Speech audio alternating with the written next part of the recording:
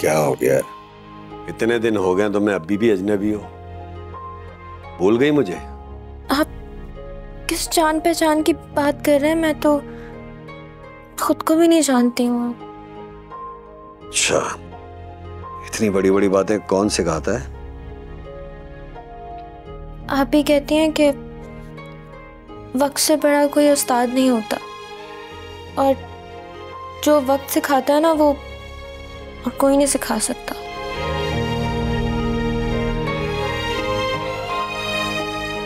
क्या हुआ? नाराज़ हो अब तक? हम्म? इतना हक तो आपने कभी दिया ही नहीं है। अरे इतना बड़ा तो हक दे रहा हूँ तुम्हें। तुम माँ बनने वाली हो। बैठो।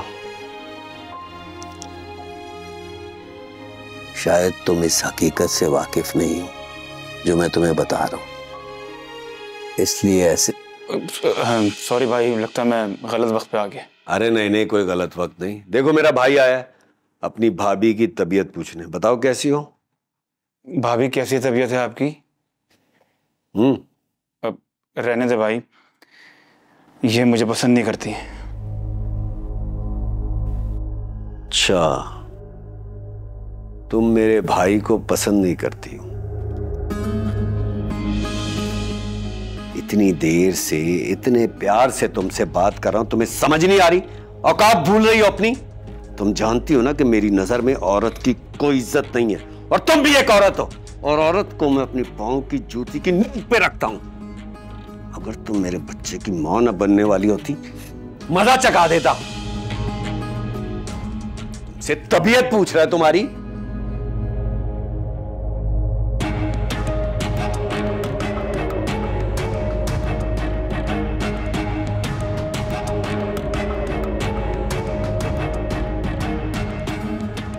अपनी तबीयत बता ही देती भाभी।